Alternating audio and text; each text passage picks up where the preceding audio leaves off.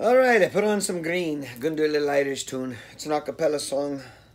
It's about a guy got hurt on the job, calls off work, writes his letter, uh, writes his boss a letter, tells him. It's called Dear Boss. Dear boss, I write this note to you to tell you of my plight. And at the time of writing, I am not a pretty sight. Me body is all black and blue, and me face a deadly grey. I hope you'll understand why Paddy's not at work today. I was working on the 14th floor, some bricks I had to clear. And throwing 'em down from such a height was not a good idea. The foreman wasn't very pleased, he'd been an awful sad. He said I'd have to take them down the ladder in me hand. Now shifting all those bricks by hand it seemed so awful slow. So I hoisted up a barrel, I secured the rope below. But in my haste to do the job I was too blind to see that a barrel full of building bricks was heavier than me. Now when I come down I cut the rope and the barrel fell like lead. And clinging tightly to the rope I started up instead.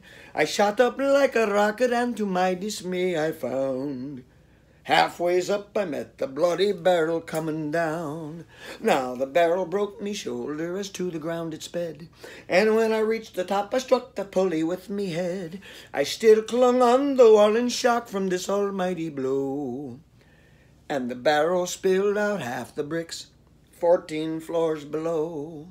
Now when the bricks had fallen from the barrel to the floor, Traven outweighed the barrel and I started down once more. Still clinging tightly to the rope, I headed for the ground.